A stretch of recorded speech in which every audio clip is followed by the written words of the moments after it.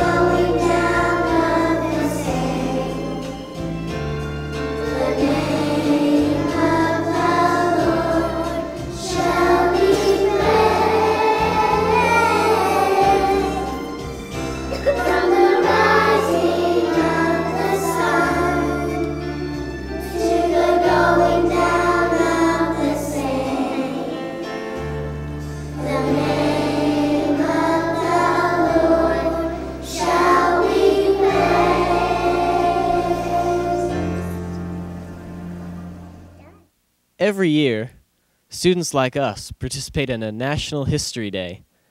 This year, it was led by our sponsor, Mr. Smith. Mr. Smith? Well, I've been at GCS for 11 years, but even before that, when I was in college, I was involved in the National History Day competition. I was a judging assistant for a number of years, and then I judged the show for about three years before I came here. It's a competitive fair. It's a lot like a science fair. Every year, the students are given a broad theme, and they can research any historical topic that's based on that theme. This year was triumph and tragedy. They can pick any topic they want as long as they can link it to that theme.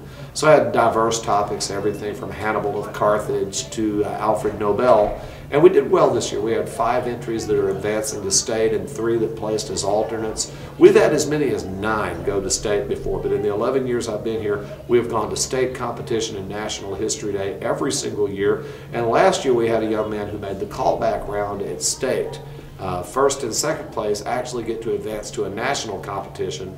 My goal before I retire is to take one student to nationals. That's our that's kind of our big hope. Hi, I'm Cody Joe Jackson. I'm Kelsey Gilmer. I'm Ashton McGee. And we did a History Day project for National History Day at A&M and Commerce. And ours was over Robert F. Kennedy, and we won third prize in the senior exhibit division. I'm Paisley Zimmerman, I'm Andrew Baker. And I'm Samantha Blakemore. and the fourth member of our team is Matthew Lee, but he's sick today. And this is the board that we did on Alfred Nobel, Dynamite, and the Nobel Peace Prize for National History Day. We won first place in the junior division for um, exhibit board, and we're going to, in our district, and we're going to stay in April. And we did our board on Alfred Nobel.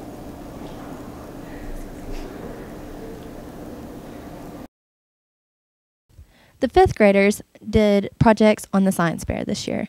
They competed in our district meet for the science fair, and they did things such as physical science and life science. Hi, I'm Andrew Eastwood, and this is my science fair project. And I looked on the internet and in books, and so I was just looking for one to do. And I found this one. Can a human body create an electric current? So what you did was you got two pieces of metal, and it said the best ones to use were copper, copper and aluminum. So my first test, I used a piece of copper wire and aluminum Coke can tab to see if it worked, and it did. So then my dad went out to his work and he got actually like pieces of metal. So we used those and hooked it up to his ammeter, which is a device that measures electricity. It doesn't make it. So what you do is you hold on to one piece of metal and hold on to the other piece. And the meter should read electricity because when you hold the copper, it just starts, it doesn't connect to this one. So when you hold them like that, then you're being the conductor. Hello, my name is Alicia, and this is my science project. It is what is a wind turbine and how does it work? I, deci- I decided on this project because I was looking for one to do, and one afternoon we were going to the we were going to Walmart, and we saw a truck carrying parts of a wind turbine, and so that sparked my imagination, and I was wondering what that was. So I asked my dad about it, and he said it was this. So I looked it up on the computer, and I decided why not do this for my science project. Well, a wind turbine is a modern windmill that converts wind into electricity. That electricity can, is used in some homes, businesses, and offices. How a wind turbine works is the wind blows, which spins this. The spinning of this spins uh, the shaft of a generator, and the shaft of the generator spins a rotor. The rotor is a, a wire continuously wrapped along a magnetic frame. When the rotor spins, that is what creates the electricity. The electricity is sent to the user by wires.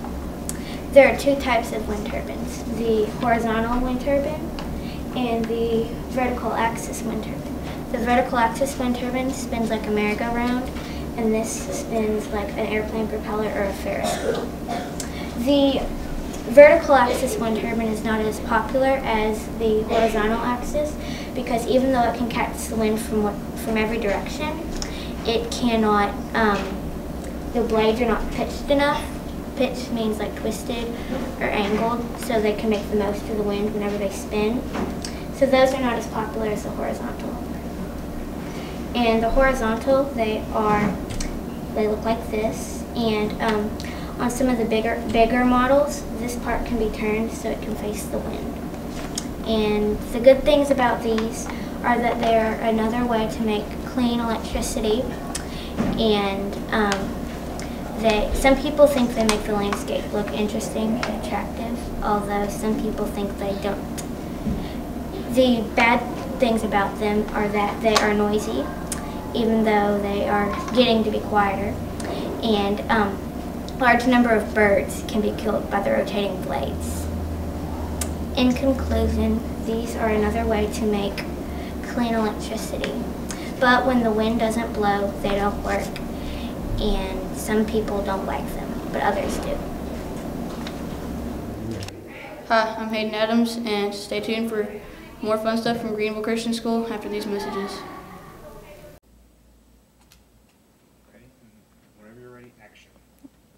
For the fourth year in a row, GCS students competed in the TAPPS Art and Academic Meet.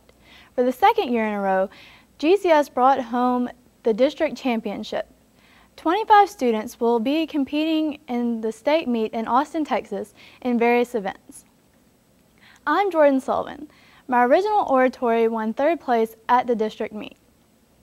Is there really a human race? Is it going on now all over the place? When did it start? Who said ready, set, go?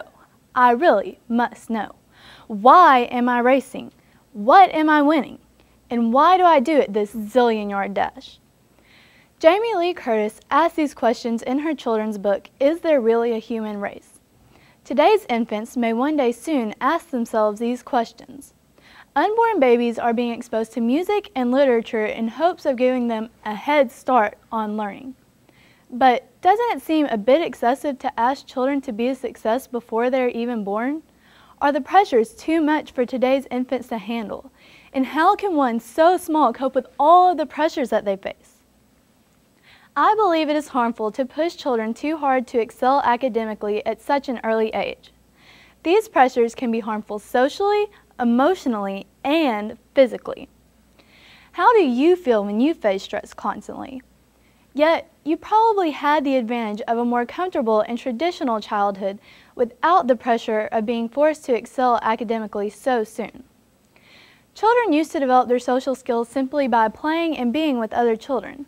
However, this unstructured daycare setting is largely a thing of the past. According to the September 11, 2006 edition of Newsweek magazine, daycare is becoming more like an SAT prep class. Instead of finger painting and story time, children are now being given math sheets to work along with reading, writing, and spelling exercises. Crib mobiles of clowns and animals are being replaced with black and white geometric shapes. Instead of stuffed animals and rattles as early playthings, there's a whole new line of toys developed to make a baby's brain develop earlier than it normally would. Pushing too hard can also have harmful physical effects. In order to have more time in the classroom, PE and recesses are being taken away. This not only poses a threat to the child's health, but also to their learning ability. Without the time to take a break from sitting at a desk all day and burn energy, children lose interest in what they are being taught and may become cranky, impatient, anxious, or hyper. Imagine how disruptive this can be to the learning environment. According to CNN.com, the obesity rate in children is 11% and rising every day. The physical education program is a necessary part of a child's education and well-being. Physical activity of any kind at a minimum is able to reduce some of the stress that children face. Stress can lead to obesity and high blood pressure, yet physical activity can combat both of these. So why are we removing the PE and recess from the school schedule? Children have a natural curiosity and desire to learn. Let's encourage that curiosity and allow their imaginations to run wild. Let's provide the best education possible without burning them out before junior high. If we ask our children to begin living like adults in their childhood, what's left? Childhood is to be a reservoir for all of the challenges that we face later in life. We need the delight in simple things that we discover as children just to get through the day sometimes. Haven't you ever been happy just seeing a rainbow? Adulthood comes quickly enough. We should not allow childhood to become a dress rehearsal for becoming an adult. Children will flourish on their own if we give them the opportunity without the harmful social, emotional, and physical effects of pushing too hard too soon. Children's questions of what's this or what's that, how does this work, why not, are being eliminated by being exposed to forced academic instruction too soon. I am not advocating missing this opportunity, and I do not believe that it should be abused by forcing academic instruction on children and infants without giving them the privilege of a childhood or unstructured play. As Miss Curtis says, sometimes it is better not to go fast. Okay. Paper or plastic? Would you like fries with that? What should I wear tonight? We all make decisions every day, and most of them are easy. Paper is better for the environment. Not fries, but a salad is better for my environment. And a little black dress, it goes with everything.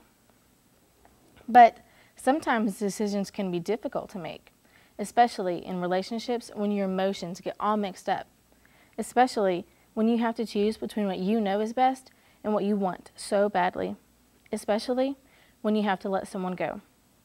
This struggle between the head and the heart is the essence of Cristin O'Keefe Aptowicz's poem Lit.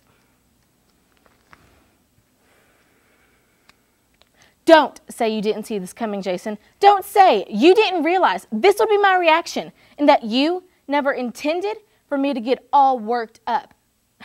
because if that were true, then you are dumber than Lennie from Mice and Men, blinder than Oedipus and Tiresias put together, and can feel less than a Dalton Trumbo character. But you don't understand any of these references, do you, Jason? Because you don't read. You're a geology major, and you once told me, Scientists don't read popular literature, Cristin. We have more important things to do. well, be glad you don't read, Jason, because maybe you won't understand this. Jason, you are more absurd than Ionesco, more abstract than Joyce, more inconsistent than Agatha Christie, and more satanic than Rushdie's verses. Used to make fun of me being a writer, saying, Scientists cure diseases. What do writers do? But of course, you wouldn't understand, Jason. I mean, have you ever gotten an inner Thurston for Zora Neale Hurston or heard Angel's Herald for F. Scott Fitzgerald? Have you ever had a beat attack for Jack Kerouac? The only Morrison you know is Jim, and you think you're the noble one? Your heart is so dark that even Joseph Conrad couldn't see it. Your mind is as empty as the libraries in Fahrenheit 451. Your mind is as empty as Silas Marner's coffers. Your mind is as empty as Huckleberry Finn's wallet. And some people might say that this poem is just a pretentious exercise in seeing how many literary references I can come up with. And some people might complain that this poem is, at its core, shallow, expressing the same emotion again and again and again. I mean, there are only so many times you can articulate your contempt for Jason before people get bored. But you know what, Jason? Those people would be wrong. Because this is not the poem I'm writing to express my hatred for you. This is the poem I'm writing because we aren't speaking. And it is making my heart hurt so bad that it's all I can do just to get up off the floor sometimes.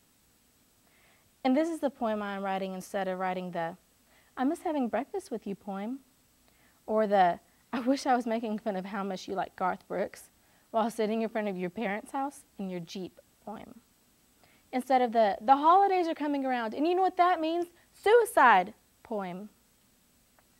I'm writing this so that I can stop wanting to write the I could fall in love with you again so quickly if you would just say one more word to me poem. But I'm tired of loving you, Jason, because you don't love me right. And if some pretentious poem can stop me from thinking about the way your laugh sounds, or about the way your skin feels in the rain, about how I would rather be miserable with you than happy with anyone else in the world, if some pretentious poem can do all that, then I'm gone with the wind. I'm on the road. I've flown over the cuckoo's nest. I'm gone. I'm gone. I am gone. I am. Hi, I'm Jessica. Hi, I'm Stephanie.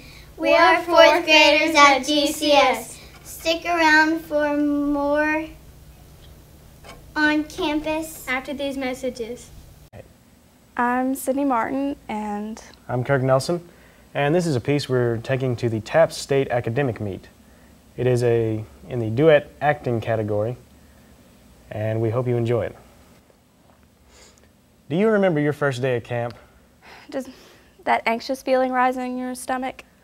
Will we have mystery meat on a bun every night? Does my hair look all right? Do we get to roast marshmallows?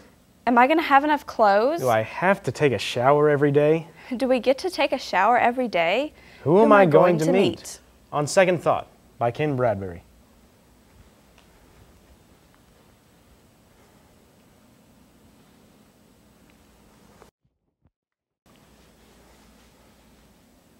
Um, is this taken? Uh, no. Do you mind if I? Go ahead. I've never been to camp before. Me either. Yeah. Dad always has to be every place early. Like we'll die if we're not the first ones there. Yeah. I hate this. I really hate this. My first day of summer camp and I don't know a soul. The first guy I meet and he doesn't want a thing to do with me. She's hot. Kind of cute, in a guy sort of way. Guys hate girls who talk too much, and that's all I've done. I don't even want to know what he's thinking of me right now. Did I get my suitcase?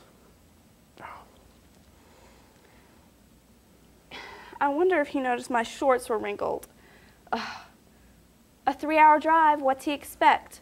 And he looks like the intellectual type. I bet he's got me figured out already. I wonder when we eat. Should have had another bowl of cereal.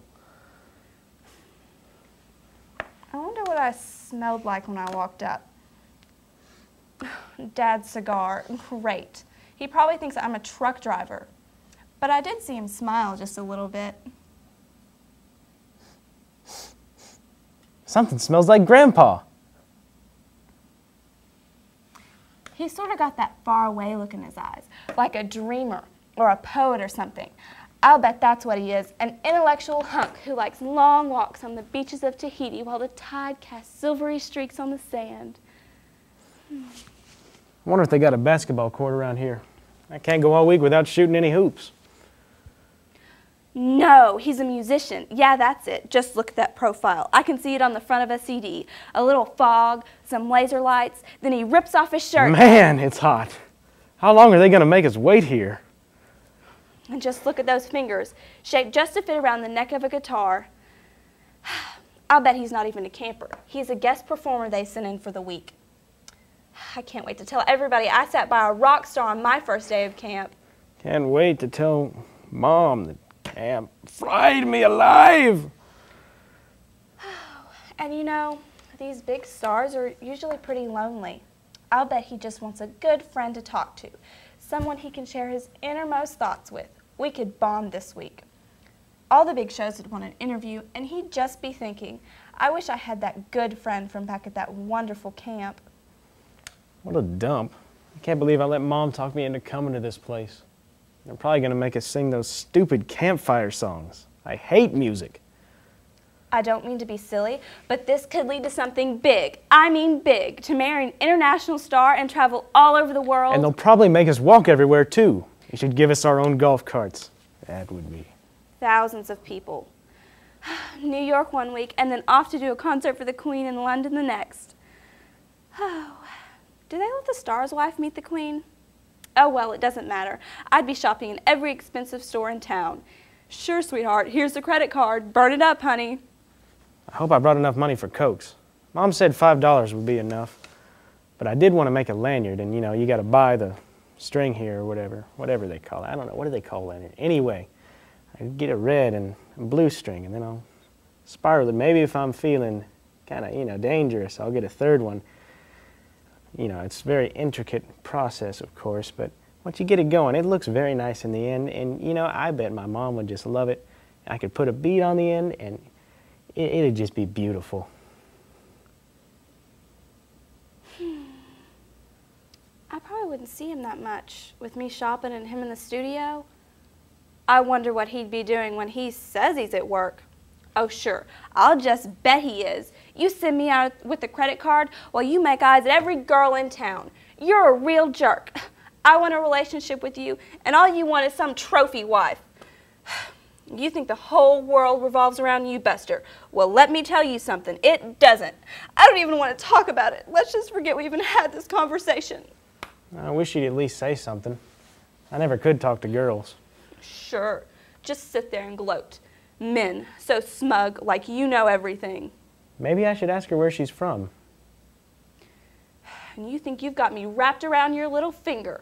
Nah, she probably hasn't even thought about me. Although I am devilishly handsome. After the what we've been through, and you treat me like this? Hey, uh, how's it? How dare you speak to me? Huh? After the way you've treated me. I'm sorry. I can't believe it. I just shouted at him. Ugh, how stupid can I be?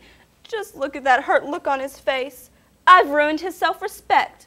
He'll never speak to me again. He'll never speak to anybody again. I saw that in a movie once. This guy just got such a shock that he forgot how to speak. Ugh. Then he wandered the streets of New York, looking through dumpsters searching for orange rinds, until one day he just gave up and jumped off a bridge. Oh, I just want to die. Oh well, she's a girl. What do you expect? I wonder if they're going to make us eat hot dogs every night. What if they find out it was me that caused him to jump? How am I going to explain that to Mom? She told me to stay out of trouble this week. Now I'm in national headlines. Girl causes mute boy to jump off Brooklyn Bridge stemming from incident at summer camp. Do they let you take your dog to prison with you? I've never seen that in the movies. Oh no, I forgot. I'm cheerleader next fall. Boy, my timing really stinks. And it's all because of you, Buster. I had it made. Cheerleading, the prom, my new car, and now I'm stuck with this life sentence. I hope you're happy with yourself. I really hope you're happy. Look, I'm sorry if I didn't. Don't speak to me. Huh? I did it again. Where's the phone? I gotta get out of Hey, here. where are you going? Isn't this where we're supposed to register?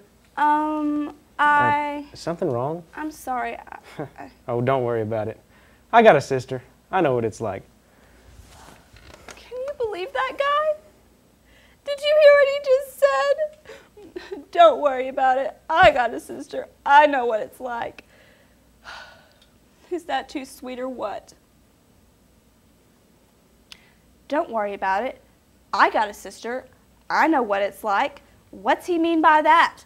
Are you saying girls can't handle their emotions? That girls can't control their feelings? Well, listen to me, Buster. At least I don't sit there like some insensitive slug and say things like, Don't worry about it. I got a sister. I know what it's like. Well, I feel sorry for your sister, kiddo, and any girl who pours out her feelings to you just so you can tromp them in the mud. Mud. Great. There goes the basketball games. Is this seat taken? Why, no, it isn't. Do you mind if I? Go ahead. I've never been to camp before. Me either. Yeah, Dad always has to be every place early. Like we'll die if we're not the first ones there. Yeah, fathers. You know, I was just thinking. Really? About what? Oh, never mind. Let's just talk. Cool.